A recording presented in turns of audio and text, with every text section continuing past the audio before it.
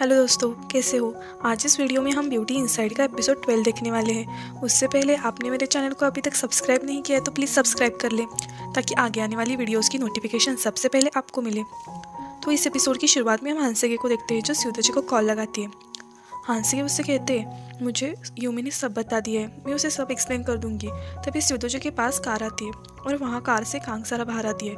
Kong सारा को देख के स्यूदोजो उसे बाद में कॉल करूँगा, बोलकर कॉल रखता है। कांगसरा उसे पूछती है, मुझे सच्चाई बताओ, क्या तुम सच में फेस पहचान नहीं पाते? मुझे तुम्हारे कार एक्सीडेंट के रिकॉर्ड मिले हैं। सीधोचे कहता है, हम अंदर जाके बात करते हैं। वो दोनों अंदर आते हैं। कांगसारा को शायद सीधोचे के लिए बुरा लग रहा था। वो उससे कहती है, मुझे आज तक लग रहा था तुम मुझे जानबूझ के इग्नोर कर रहे हो, पर मैं गलत थी। तुम बीमार थे और मैं क्या क्या सोच रही थी। सीधोजे कहता है, मैं तुम्हें पहचान लेता हूँ, पर कभी कभी ही पहचान नहीं पाता था। तुम स्ट्रेट और कॉन्फिडेंस से चलती हो, हमेशा फियरलेस तुम हमेशा मुझ पर गुस्सा करती हो, जब मैं, हम एक दूसरे के सामने आते थे। स्योदोजा कहता है, मैं सरप्राइज़ हूँ, तुम जिस तरह से आज मुझसे बात कर रही हो उससे, तुम एक रियल सिस्टर जैसी लग रही हो मेरे से। कांगसरा कहती है ये बोल के तुम मुझे अनकम्फर्टेबल फील कर रहे हो और वो वहाँ से चली जाती है। उधर हांसिकी को यूमी पूछ रही होती है सिद्धोजी ने ऐसा क्यों कहा? यूमी कहती है, रहने दो, अगर तुम्हें मुझे नहीं बताना है। तुम्हें बताना होता तो मुझे पहले ही बता देती। और वो वहाँ से चली जाती है। हम सिद्धोजी को सेक्रेटरी को डॉक्टर को कॉल करते देखते हैं। डॉक्टर उसे बताते हैं कि उसकी कंडीशन क्यूरेबल नहीं है। मैं सिर्फ़ ये कोशिश कर रहा हूँ कि वो अपनी लाइफ अच्छी तरह से जिए। सिद्धोजी और हांसे कार में मिलते हैं। हँसी कहती है, शायद यूमी को पता चल गया है, मैं कुछ भी कह नहीं पाई उससे। जो कहता है, मेरे पास गर्लफ्रेंड है जो मेरी फ़िक्र करती है, इससे अच्छा क्या होगा? मैं बहुत खुश हूँ। इस समय सिद्धोशी उसे पूछता है, तुम्हारे लिए योमी कितनी इंपॉर्टेंट है? हंसे कहती है, हम एक दूसरे के लिए हमेशा हेल्प के लिए तैयार होते हैं। अगर वो मुझसे नाराज़ होकर भी चली गई होती है तो मैं उसको मनाती हूँ कि वो मुझे छोड़कर ना जाए? जो कहता है, फिर मेरे पास भी कोई चॉइस नहीं है, मुझे भी उसे मनाना चाहिए, तुम्हें छोड़ के ना जाए इसलिए। हांसी योमी और योनो को उसके घर बुलाती है। वहाँ सिद्धोजो को देख के पहले योमी हैरान होती है, पर बाद में वो चारों साथ में ड्रिंक करते हैं और उनकी मिसअंडरस्टैंडिंग सब क्लियर हो जाती है। वो उसे अपने कंडीशन के बारे में बताता है और बाद में हांसिंग और सिद्धोजो वॉक करते हैं साथ में। उधर यूरी उस डिटेक्टिव को पूछ रही होती है हांसी के बारे में। वो बताता है कि उस युद्धजो को ही डेट कर रही है, उसका कोई बच्चा भी नहीं है और फिनरल के टाइम का वीडियो दिखाता है। वो कहता है, तुमने उसे अंदर जाते नहीं देखा था, सिर्फ़ बाहर आते देखा था।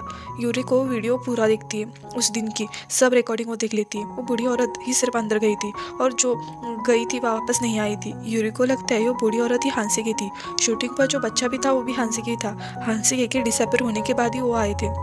हांसी के नेक्स्ट डे हेयर सलून में गई थी। तब वहाँ पर यूरी भी आई थी। वो उसे कहती है, मैंने बोला था ना, हम ज़रूर मिलेंगे। वो जानबूझ के वहाँ पर, वो चाइल्ड एक्टर का ज़िक्र करती है। वो उसे कहती है, तुम्हारे डिसअपेयर होने के बाद एक लड़का आया था। उसकी एक्टिंग बहुत अच्छी थी। क्या तुमने उससे जानती हो? तभी वहाँ पर योमी भी आती है और वो कहती है, वो मेरा रिलेटिव है। वो अभी कोरिया में नहीं है। तुम्हें क्या काम है उससे?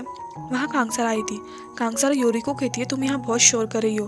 तुम्हारी वजह से सब परेशान हो रहे हैं। यूरी उससे कहती है, तुम मुझे नहीं जानती हो क्या? कांगसारा कहती है, कौन हो तुम? मैं नहीं जानती तुम्हें। और यूरी वहाँ से गुस्से से चली जाती है। हंसे के कांगसारा को थैंक्स कहती है।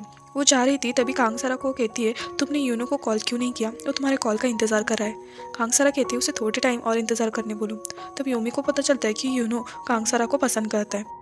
कांगसारा और चोईक्यो साथ में थे। चोईक्यो कांगसारा को कहता है तुमने हेयर स्टाइल मेरे लिए चेंज किए क्या? कांगसारा कहती है, मैंने किसी के लिए चेंज नहीं किया हेयर स्टाइल वो उसे कहता है, तुम्हें मेरा गिफ्ट पसंद आया?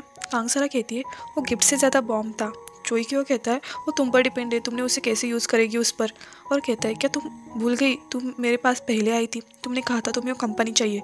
कांगसरा कहती है हाँ मैंने ही कहा था। मुझे अभी उस पर यकीन नहीं हो रहा कि मैंने वैसे थी।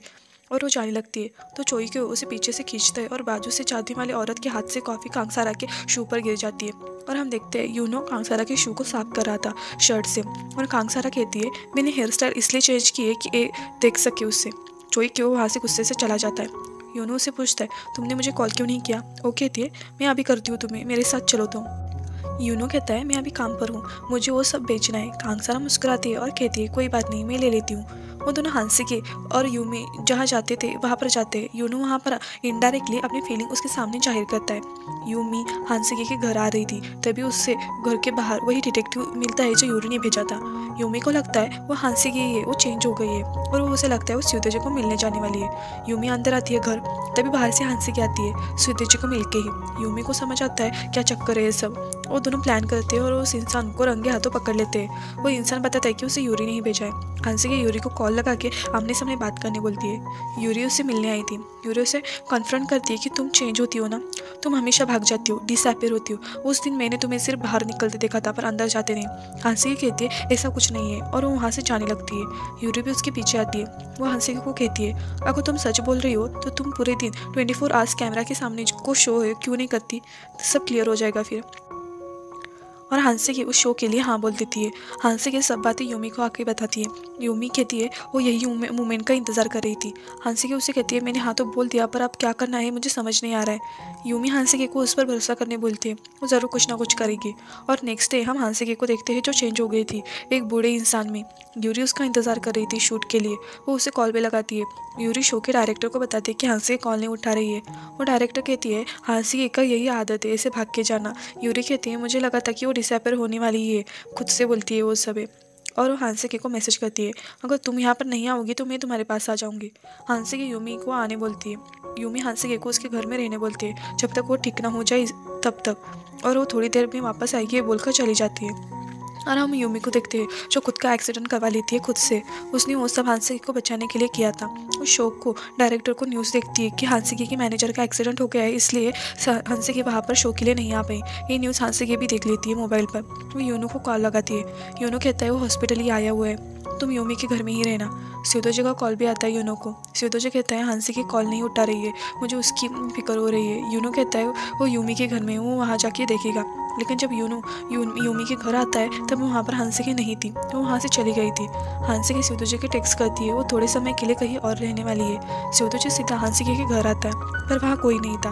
वो उसे कॉल लगाता है पर वो कॉल भी नहीं उठा रही थी। हांसी के डिसअपेयर होकर अब एक हफ़्ता हो गया था फिर भी उसका कोई आता पता नहीं था। शिवदर्श उसके कॉल का इंतज़ार कर रहा था, उसे टेक्स्ट कर रहा था। उसका किसी पर भी मन नहीं लग रहा था। वो रोड क्रॉस कर रहा था, तभी उसके सामने से आ रही थी हांसी के एक बूढ़ी आदमी के रूप में। वो दोनों एक दूसरे के बाजू से जाते हैं। हांसी के उसकी तरफ़ देखती है। आगे जाते ही शिवदर्ज को कुछ अलग फील होता है, वो पीछे मुड़कर देखता है। हांसी की भी उसकी तरफ़ देख रही थी। शिवदर्ज को समझता है वो हांसी की ही है। वो उसके पास जा रहा था पर ग्रीन लाइट चालू हो जाती है। हांसी की उससे कॉल करती है। शिवदर्ज कहता है, तुम ऐसे कैसे जा सकती हो? हांसी की उसे सॉरी बोलती है। हांसी के स्यूदोजो को उसका फेस दिखाती है और कहती है, मेरा फेस पहले जैसा नहीं हो रहा है। स्यूदोजो की आँखों में पानी आ जाता है और उसके सामने से एक बस जाती है और वहाँ से हांसी की भी गायब हो गई थी और हमारा एपिसोड इधर ही ख़त्म होता है। नेक्स्ट एपिसोड भी चल देगा, तब तक के लिए टेक केयर बाय